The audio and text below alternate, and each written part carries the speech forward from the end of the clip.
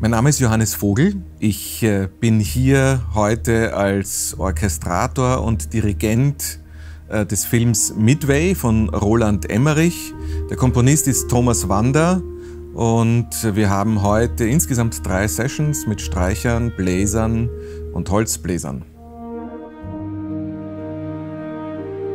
Ich bin mittlerweile sehr zufrieden mit dem Synchron Stage Orchestra. Wir haben in den letzten Jahren einen unglaublichen Qualitätssprung hingelegt und mittlerweile sind wir da tatsächlich auf einem international, glaube ich, sehr, sehr gleichwertigen Niveau-Level wie in England oder in Amerika.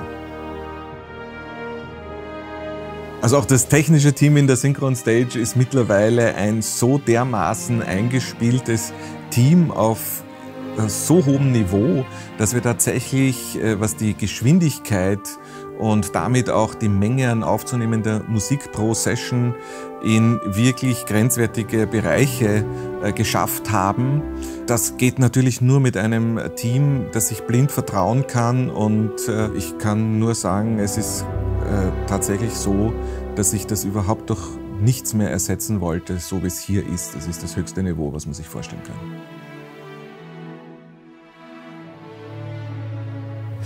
Ja, also die Synchronhalle hier in Wien äh, ist ein ganz spezieller Ort, nämlich auch was die Atmosphäre hier betrifft.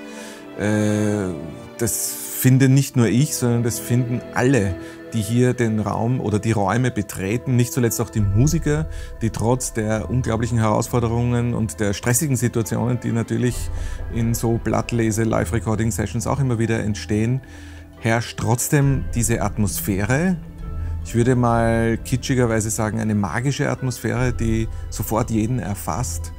Ja, also selbst die stressigsten und schwierigsten Situationen sind aufgrund der Grundatmosphäre, die hier herrscht, immer zu meistern. Und ich habe hier, auch wenn die Situationen stressig sind oder die Anforderungen sehr hoch, gibt es immer dieses grundangenehme Gefühl.